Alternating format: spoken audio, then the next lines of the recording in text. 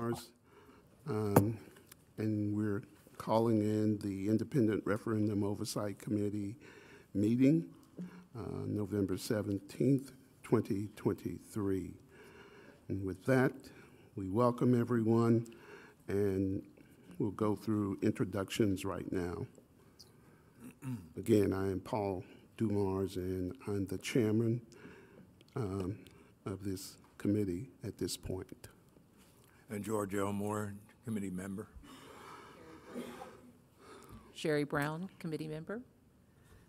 Uh, Heather Frederick, I'm the Chief Financial Officer, and then we also have um, several members on the, um, on virtual. I want to welcome um, and congratulate Ms. Karen Brill. She is uh, now the new chair of the board, and so I want to welcome Ms. Brill. Um, I see Michael Dixon uh, has joined, uh, Stephanie Callert, um, and and uh, Patrick Franklin. And we, I know Mr. Siegel is trying to get in, and so I believe we have Mr. Siegel as well. I'm here. Right. Okay. Leanne Evans, Treasurer of the School District. Gordon Longhofer, Classroom Teachers Association President. Anna Patricia Morales, Office of General Counsel. Do we have any more? Okay, we will move on. Um, Any public comments? If not, we'll um, have the approval of the minutes. Move, for- move approval of the minutes. Second. It's been properly moved and second that we will approve these minutes. All in favor? Aye. Aye. Aye. Aye. Thank you. With that, we will move to new business and turn it over to Heather. Since we did not have a quorum uh, for our last uh, meeting, we have two reports to go over today. Uh, So the, the first report is the last report of our four, ye- our last referendum. Um, So it's the conclusion of the four years. Um, It shows the, um, the total funds collected for, uh, sorry, the total revenue collected uh, for the, the prior uh, fiscal year 2023 was 280 million, 275 million dollars. We did have some carryover funds um, from the charter schools, um, so a total of 280 million.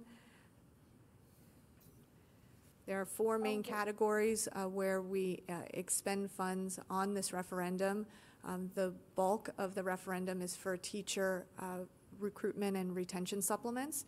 Uh, So that was $116 million. Um, Over 12,000 teachers received those supplements. And then we have uh, art, music, uh, PE, um, choice, uh, career academy teachers for a total of $68 million. Uh, Mental health services, $18 million. Total security of $15 million. So for a total of 243 million. Uh, So we did have uh, some uh, carryover funds uh, remaining. We did set funds aside for the charter school referendum lawsuit, which we did settle, and we, we do have a representative from legal who can speak more in detail with that, but we did settle with the three uh, charter schools that had sued the district. Um, And that was approved at our, was it our last formal board meeting? I think that was approved. One before, I believe. And so, and then after that settlement, uh, we sent the funds out for all remaining charter schools. So there was a total amount that we reserved of $60 million.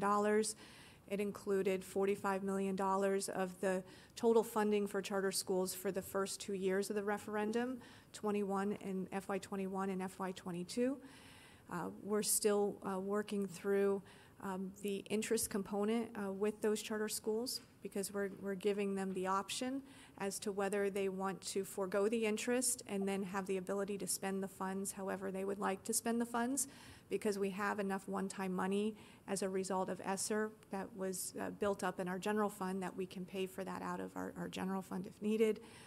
Or we've set the money aside also within the referendum or a subset of the money aside in the referendum so that for those schools that elect to um, accept the, or elect to take the interest, they would have to spend the funds in accordance with the referendum.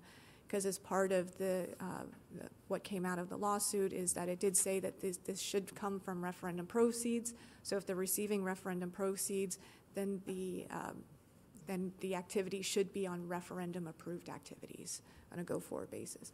So I don't know if there's uh, anything else you'd like to add. No, you've got it. Thank you. Uh, So that's the, the $25 million uh, reserve that is set aside. Um, And then there is also an additional amount on the charter schools of $8 million that they have still not spent um, that will continue to carry forward so that they can spend it on allowable referendum activities. A question, you, you, twelve thousand teachers. I don't, used to be these sheets only had like one teacher in each school. Well, that's for the art, music, and PE. So the art, music, PE teachers, Yeah. those are one teacher to two teachers at each Yeah. school. For the referendum supplements, that's for all teachers across the district. So every teacher, dependent on their years of, depending on their years of Yeah. experience, receives a referendum supplement. So that's the total of the twelve thousand. The actual teachers, so that's a supplement in addition to their base pay. And so it's only the supplement that's being reflected here. Thousand dollars, um, one to five years' experience, 5,000, five to ten years' experience, and then ten thousand for, uh, over ten years of experience. And then with the number of uh, fine art teachers, there's a total of 884 teacher positions. And then those are in our elementary art, music, PE, choice, and career academy. Okay. Okay, And that was the original referendum we received Yeah, that- that started with the quarter mill, started with the total fine arts. right. right. And then from there, when it expanded to the one mill, we added on the teacher supplements. The twelve thousand teachers, is that all the teachers in the system? It's almost, it's almost all the teachers, because if you have less than a year of experience, you're not eligible. So you have to have at least a year of experience, so it's every teacher that has a year of experience or more. Okay, thank you. All right, so that's the, the first report. Mm-hmm. Okay. Entertain a motion to Motion to approve. approve, yeah. So move. Second. Second. All in favor? Aye. Aye. Any Aye. opposes? Aye. Aye. Okay, thank you. We'll move on to the next uh, report. The next report is for uh, the new referendum um, that was approved by the voters um, overwhelmingly in November of 2022. And so this is the, the first year of that four-year referendum. Uh, So the total uh, anticipated uh, revenue to be collected from the property values is, the increase in the assessed values is $319 million. We do have $25 million of uh, carryover funds. And so the adjusted revenue is, we're looking at is $344 million. And in breaking out, the only difference that we have in this new referendum is as part of our, uh, since we had a 20% increase in property values in the previous year, a 15% increase in the property values in 2023, um, uh, in, in the upcoming year, in 2024, sorry, uh, we had additional money in the referendum, and so we looked at the activities and the allowable activities within the referendum, and we were able to use uh, those funds uh, in the teacher supplements, that additional revenue that was generated, and we put that towards uh, teacher raises. And so we were able to um, give a 7% on average recurring increase to teachers. Uh, $35 million um, is being charged the cost of that raise, $35 million of the cost of the raise is being allocated to the referendum. It is the highest recurring increase that we've given in 20-plus years. My tenure and, and also Mr. Burke's tenure. Um, In addition to that, there's also a 3% re- um, uh, one-time bonus that we're funding out of the referendum funds. Uh, So we were, the reason why we're able to do that was because of the increase in property values and, and the additional um, funds generated from the referendum. And so we were very um, um, thankful and fortunate to be able to provide that increase to the, to the teachers. So that is why you see such an increase in the teacher supplements from the last referendum to this referendum, is because we added in $35 million of that recurring increase, um, which is just a portion of it, uh, into uh, the referendum. Um, The fine arts is expected to be around the same, uh, you know, a slight increase um, in teachers, but we're projecting about $75 million in total spend through the end of the year. It's $12 million to date.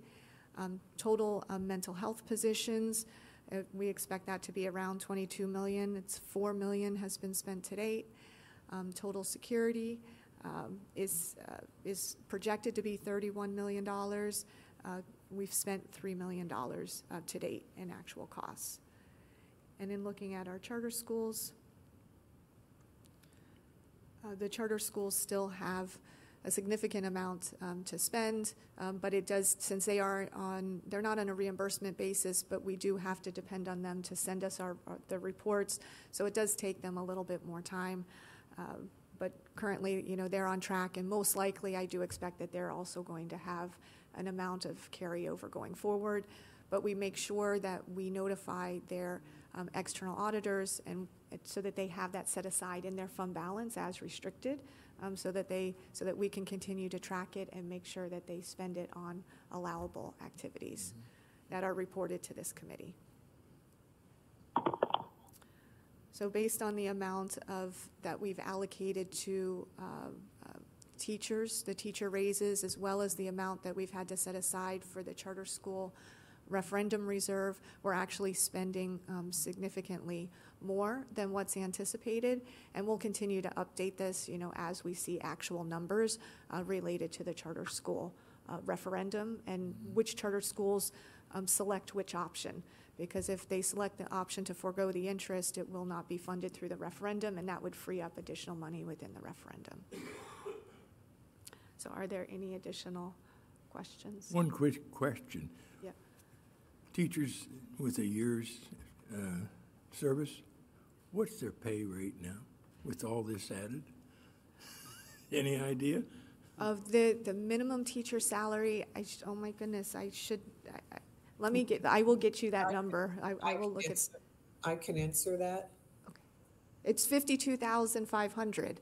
Why did it? 51, 51,500. 51,500. And because they do not receive any of the, if they have one years of experience, or if they have, if they don't have at least a years of experience, they do not receive the thousand dollar supplement. Okay. Um, But the years of experience includes outside of the district as well.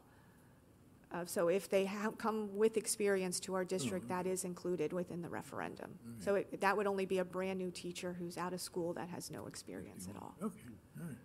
And thank you, Ms. Brill. I don't know why that just it completely, it completely left, left my mind, so, so thank you for that. Thank you, too. We were very excited to get above because we were at 49,000, so we were excited to get Get above above um, and to be at 50, uh, o- above $50,000. Okay. So can we get a motion to approve Yeah. this report? I'll make a motion to approve. Second. All in favor of approval? Aye. Aye. Aye. Thank you. We will move on. Um, The IROC report to the board. Right. So as part of what's re- a requirement of the IROC is that there's an annual report to the board. And so I would need a member to uh, volunteer to report at the December uh, 13th uh, board meeting.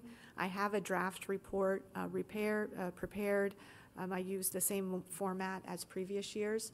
So I don't know if there is a, a board member who, or a committee member who is av- available on the 13th to report to the board. Um, If no one is available, we can do a written report, Okay. When did you say, December 13th? December 13th. Ooh, I'm out.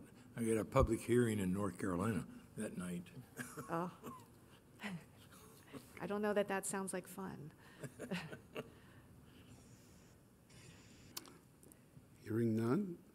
Uh, Then, then we can just do a written report to the board, which is, that will be fine. And if Thank you. there are any comments um, on the uh, on the report, you can just forward them to me, and then I can share any changes uh, with the committee. Thank you. I've actually um, presented the report before. My life has changed after 5 o'clock. I've got all kind of things going on that I'm committed to, so I don't. Okay, thank you. It's Uh, usually very short, Tony. That's one good thing, but you don't know when it's gonna come on the agenda. Exactly. Okay. Okay. With that, we will move to the um, chair selection and the vice chair selection. Okay, so the next item is the selection of the chair and vice chair. Board Policy 1.09 requires the committee to select a chair and vice chair at the first meeting after the start of the school year. So we will start with the selection of the chair. An advisory committee member selected by committee members to serve as the chair shall be limited to four consecutive years as committee chair. The current chair, Mr. Dumars, has served four consecutive um, terms, um, so he is not eligible um, to continue. Um, And so it, can I receive a nomination for the chair? I'll nominate George Elmore, since you're vice. I'm getting kinda old now, you gotta remember that. It'll keep you young. Are there, are you willing to accept the nomination, Mr. Elmore? Well, you can definitely, I, I know I've got another year at least. I know Oh, that, my so I'm goodness. okay. I'll keep you advised. You have wa- way more than that. I mean, are there any other nominations? Okay, hearing none, all in favor of electing uh, Mr. Elmore to serve as chair, uh, please signify by saying aye. Aye. Aye. Aye. Aye. Okay, any opposed, say nay. And so I don't hear anybody, so Mr. Elmore, you've been elected with unanimous support. So thank you very much for your continued participation with the- this How many committee. years have I been here? It- You, I think both you and Mr. Dumars have been here since the beginning, so it would be since one, yeah. 2012, right? At at least, so, oh so thank you. Thank you both for your continued participation. Okay. So the next is the selection of the vice chair. So there is no term limitation on the vice chair. So can I receive a nomination for the vice chair? Are you okay? I'll nominate Paul Dumar. This is the third or fourth time we just flipped. I'm committed, whatever, you know. Okay. All right, thank you. Are, are, are there any other nominations? Okay, hearing none, all in favor of, of electing Mr. Dumars as vice chair, please signify by saying aye. Aye. Aye. Aye. Aye. Okay, all opposed, uh, say nay. So I can now say, you know, thank you, uh, Mr. Dumars, you've been elected as vice chair with unanimous, unanimous support of the committee. All right, so with that, our next meeting is February. February 23rd Yeah. uh, at 9 AM. We're back to our normal time. And there's, we don't have anything else. And I just want to thank Ms. Brill one more time for, uh, for your help on, on the, the starting teacher pay.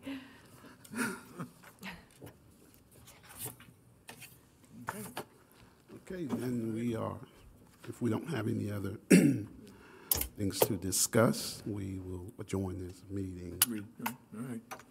All right, Thank you. thank you, everybody. And then for those of you that are participating on ISOC, that meeting will start um, at 11 o'clock. So we just have to change over our computers and, and the meeting will be back up again. All right, thank you all. Thank you for participating.